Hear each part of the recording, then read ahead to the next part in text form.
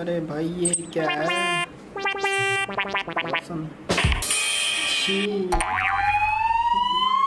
बहुत बेकार भाई, ये देखो क्या क्या चीज़ पकड़ते हैं अरे भाई, इतना बड़ा मेंढक। अरे भाई, हम तो कभी नहीं पकड़ सकते।